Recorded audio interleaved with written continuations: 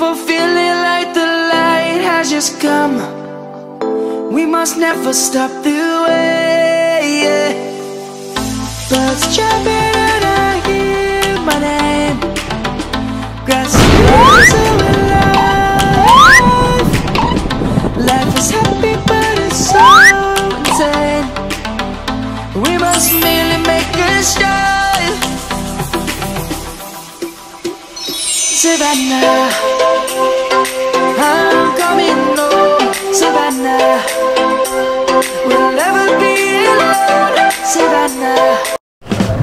Bulaga.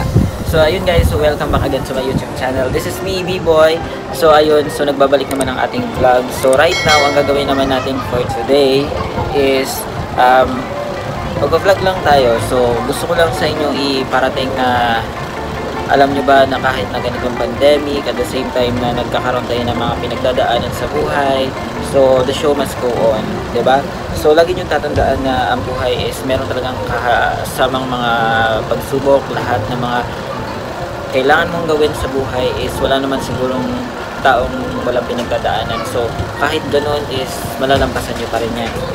So right now, sabihin ko sa inyo yun, uh, um, pwede kong gawin right now for you sa vlog natin for today is ano ba yung mga naging achievements natin bago matapos yung year 2020. So, first of all is, you know, uh, way back uh, March, no? So, we started to uh, journey sa ating pag-vlog. So, we become a content creator already. But, of course, hindi naman ako uh, isang vloggers na sobrang malaki na. So, nagsisimula pa lang din. But, you know, kailangan din natin talaga sa buhay natin is mag, alam mo yun, uh, ibigay talaga lahat. So, kailangan mag-all in. So, ngayon, ang kailangan natin is magpasalamat sa taas. Kasi siya yung dahilan kung bakit ibinigay, natin, binigay niya to sa atin, yung career na to.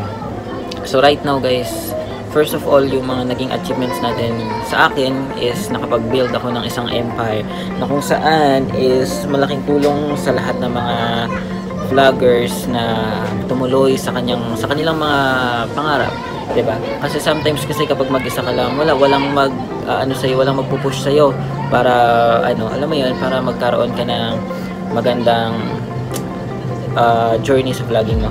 Pang, uh, pangalawa naman is since na-build ko na siya is you know So, of course, meron siyang ups and down. Wala namang siguro successful. At the end of the day, right now, sobrang nagiging successful na siya. And, uh, yun. So, isa pa yun is yung mga nagkaroon kami ng mga donations. Nagkaroon na kami ng first merchant shirt. So, ito siya. Gamit ko na siya. Ayan. Actually, sobrang ganda niya. To be honest. Pero mas maganda yung white. So, yun yung pinaka maganda talaga. But, lahat naman maganda. So, marami pa kaming, uh, marami pa kayong dapat abangan especially kapag once na nagstay pa kayo. Especially sa mga susunod. So ngayon mamaya mag uh, prepare muna kami. Kasi ngayon is ngayon ano oras na? So it's already 9.28 December 24 so mamaya magka-countdown tayo kung ano yung mga alam mo yun mga ganap dito sa ating Christmas vlog natin. So see ya! A few moments later. So here is our Noche Buena ba? Yung Noche Buena namin.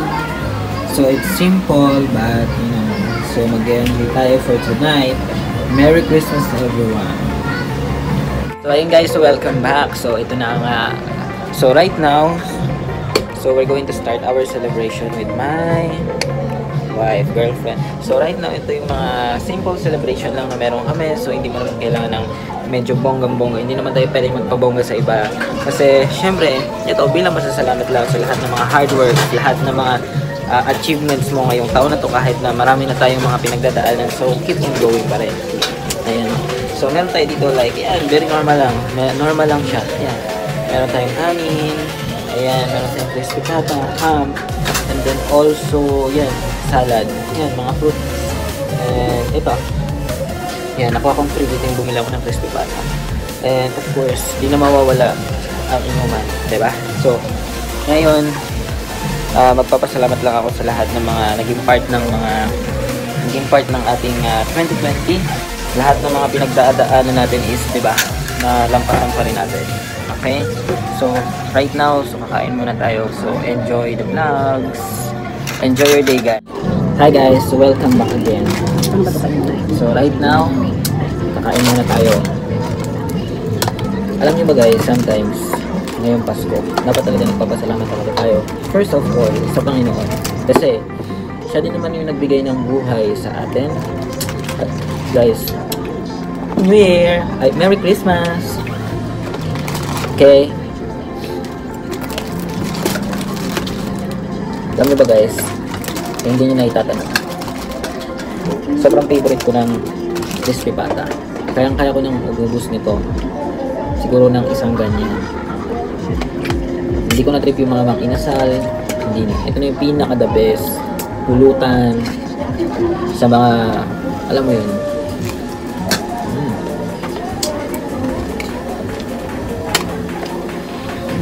Gusto mo sila?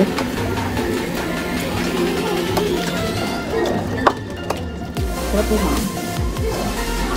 Mamaya. Next year, tatlo na kami. MC Yuri, no? Hindi apat. Kaya nga, tatlo si Yuri, apat na.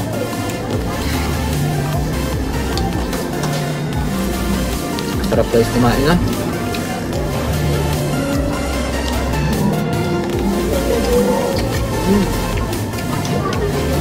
Maraming salamat din pala sa lahat ng mga kli- kliyente na talagang naniniwala sa mga products na mga binibenta namin. Dahil sa inyo, dahil uh, magkakaroon ng mga magandang buhay. But sa tamang paraan. Sana sa pagkatapos ng mga taon na ito, by 2021 is maging okay na talaga lahat.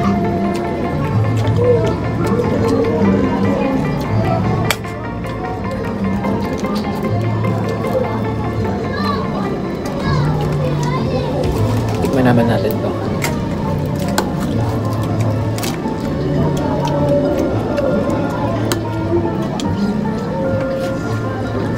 Ito talaga hindi ko pinalimutan yung hapon. Kasi once in a lang natin talaga ito nandito.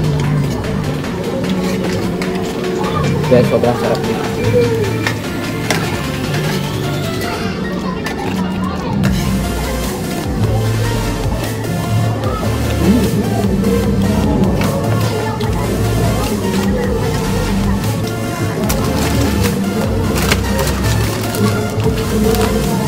Actually guys, ito in order namin to sa Banks Kitchen. Maraming maraming salamat kasi regular clients na nila kami. Alam mo yun, ah, talagang kahit na mag-order kami anytime, diba kahit anong oras, with delivery pa.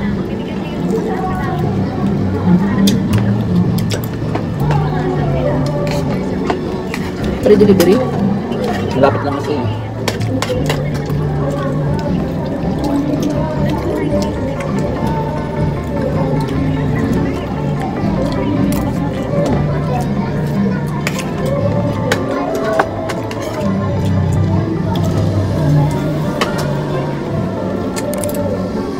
Dami na naman ako makakain.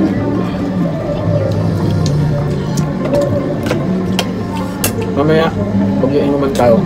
Hmm? Kahit mag-isa lang. Para tayong tanga, di ba? Pero ito lang kasi, siyempre, Pasko lang talaga. Kasi very simple lang. Pero pag New Year talaga, yun yung talaga mas maganda celebrate. Pero siyempre ito, kailangan din natin i-celebrate kasi para kay Papa Jesus. A few moments later. So ngayon guys, so welcome ba? ah, so ngayon guys, so uh, magiinom muna tayo. So magse-celebrate tayo ng ah, Christmas Eve.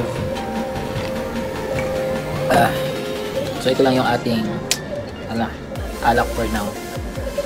Kasi syempre mag-isa lang ako. Ang kainuman ko ngayon is ang isa sa mga partner ko lang dito. Ah, isa lang sa mga kapartner ko dito is this one. Okay.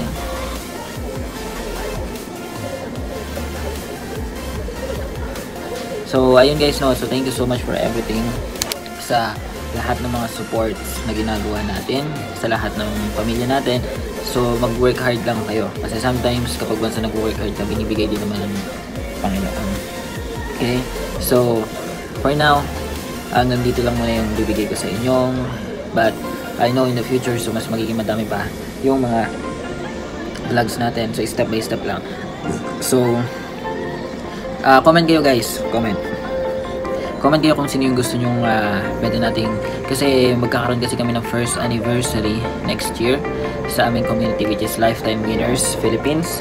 So it's only exclusive sa aming community. So magkuha kami ng guest na medyo malaking YouTubers na talagang uh, makakabanding namin dito. So I'm planning kasi na sa yate tayo. Okay?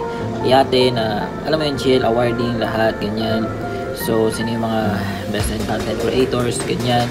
And yun, jamming, banding, collab, yung mga feature na pwede gawin. At the same time, makikita natin kung ano ba talaga dapat na gawin natin pa para mag-all out talaga tayo next year by 2021. Because I know lahat kayo na nagtitiwala na talaga sa aming community but I will give 100% sa mga susunod na mga buwan, taon, promise. Uh, hindi, hindi, hindi ko kayo iiwan guys. I will promise you. So, thank you so much guys for watching our vlog, my vlog.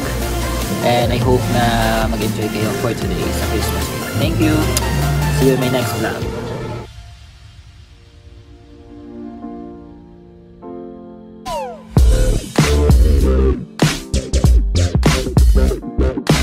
Hi guys, kasama ko po ngayon si Kong TV Shoutout sa inyo, Team Lifestyle Winners. Binabati ko kayo, power sa from Kong TV. Thank you so much Thank you po. so much. Mo? Woo!